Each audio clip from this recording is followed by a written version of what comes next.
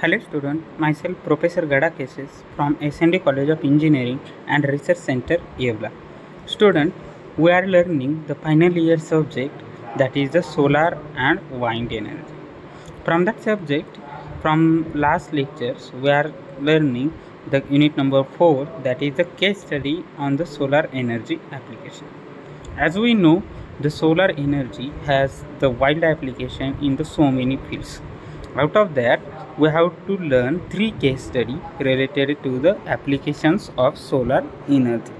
Out of that, first case study we have learned already, and that is related to the solar food dryers. Second case study is related to the parabolic dish solar cookers, and third case study is related to the solar photovoltaic system out of that first two case study we have learned already. And uh, today we are going to learn the, some topics from the third case study photovoltaic system. So let's see which topics which we have discussed re- related to the solar photovoltaic system.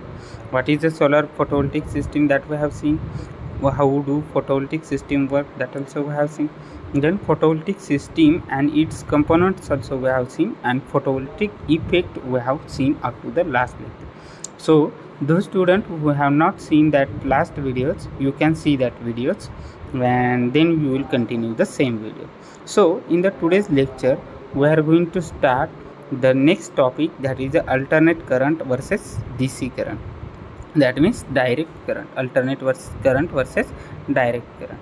So let's see one by one what is the ac current what is the dc current which are the symbols then what is the difference between ac and dc currents? And at the last we will see some questions. So let's see what is the ac current. As per the name alternate current. Alternate means what? There will be the phase. One is a positive another one is a negative phase. So that is that current is nothing but the phase difference is there in the ac current. So let's see what they have said about ac current. Alternating current ac is an electrical current which periodically reverses direction and changes its magnitude continuously with the time in contrast to direct current that is dc current which flows only in one direction. That means what? Ac current periodically changes its magnitude and direction but dc current remains does not uh, change its magnitude and direction and it flows only in one direction. That means direction does not change.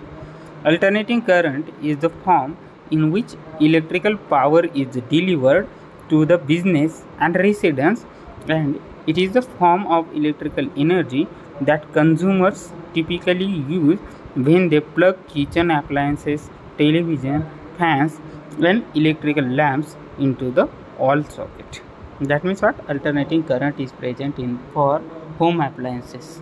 All of you understand that? A common source of dc power is a battery cell in a flashlight. Dc power where we mm, from where we will achieve the dc power? From the batteries. The abbreviation ac and dc are often used to means simply alternate and direct as when they modify the current or voltage all of you understand what is what is the ac current? Ac current is nothing but the current which will periodically change its magnitude and direction where dc is nothing but the direct current. So let's see in the details what is the dc current. So dc stand for direct current. As per the name dc means direct current. So there will be the no change in the direction of the current. Although it is often referred to as a dc current dc current is defined as a unidirectional flow of electrical charge. That means there will be the no change of the direction for the dc current. That is the unidirectional flow of electrical charge. In dc current the electron moves from an area of negative charge to an area of positive charge with changing the direction. This is unlike alternating current circuit where current can flow in both the directions how do you understand that so dc current can flow through the conducting material like the wires also flows through the semiconducting materials also. That means DC current will flow through the conducting material and semiconductors also. The battery is the best example of the DC source. AC source means the AC current means the current present in the household application, but DC current is present for the battery source. In the battery, the electrical energy produced from the chemical energy stored in the battery. When a battery is connected in a circuit, it provides a constant flow of charge from the negative to the positive terminal of the battery. All of you understand how the battery will supply the charge. A rectifier is used to convert alternating current to the direct current. That means to convert the charge from AC to the DC, rectifier is used. But for converting the charge into DC to the AC, the inverter is used. That means AC to DC we will convert with the help of rectifier and the DC to AC we will convert with the help of inverter. So that is nothing but the DC current. So here symbols of the AC currents and DC currents are shown. So for alternating current on the upper side symbol is shown. So change in direction, change in magnitude. But a direct current does not change in the direction. So it is a straight lines. That are the symbols of the AC and DC current. Next, the alternate current and the direct current there is a some difference uh, generally we have seen that difference but in the details there is a some another points where we have to focus for keeping the distance between the alternate and DC so AC is a to transferred over the longer distance even between the two cities and can be maintains the electrical power. For DC DC cannot travel for very long distance. It loses the electric power that means DC current generated from battery. If you are traveling that DC current for the longer distance it will lose the power. That's why it is not possible to travel it for the longer distance. The rotating magnet causes the change in the direction of electrical flow. The steady magnetism makes DC flow in the single direction. Okay? So that are some points related to the difference between the alternate current and direct current. So we have seen what is the AC current, what is the DC current and what is the difference between the AC and DC current. So also we have seen symbols of the AC and DC current. So you have to remember that all the points according to the exam point of view. Now next point we are going to see that is a, what is the advantages of AC over the DC. That means obviously AC current is advantageous for us.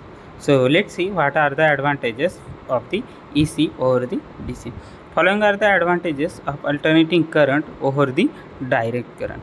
So first advantage of AC current is AC is less expensive and easy to generate than the DC. So why it is less expensive? Because for DC current, storage of the DC current is achievable with the help of batteries. So the cost of batteries obviously larger and the transport charge of the DC current is also higher. That's why it is also cheaper. Uh, higher expensive. So AC current is a expensive less expensive than the DC current. The distance covered by the AC is more than the DC that also we have discussed. And the last point is the power loss during the transmission in AC is less as compared to the DC current so for the AC current, the longer distance transmission is possible, but for the DC current, for longer distance, power cannot be transmitted because it loses the power. That's why AC current is useful.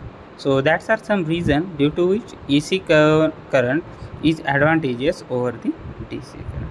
Now let's see the next point that is the last point related to the AC and DC current that is why the use of AC voltage preferred over the DC voltage.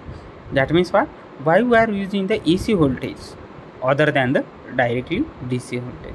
So there are two points due to which we are referring the AC supply instead of DC supply. So the loss of energy during the transmission of AC voltage is less that of you know when compared to the DC voltage and this makes installation easy when transformer are at a distance. Due to that that means the distance first point is the distance. The transmission of current is possible for longer distance with the help of AC current but it is not possible with the help of DC current. That's why we preferred the we preferred the AC voltage for the use. And second point is that AC voltage has the advantages of stepping up and stepping down as per the requirement. That means the AC current can be step up or can be step down as per our requirement with the help of transformer. But for DC current it is not possible because DC current has the direct magnitude so we cannot change its direction and magnitude. That's why AC current is able to step up or step down with the help of transformer. That is the second reason due to which we are using the DC current so that's are some points related to the AC and DC current. So for AC and DC current in the today's lecture we have seen what is the AC current what is the DC current which are the symbols of AC and DC current. What is the difference between the AC and DC current also we have seen. And at the last we have seen why uh, advantages of AC over the DC and why we prefer the AC current over the DC current. So next topic we will discuss in the next lecture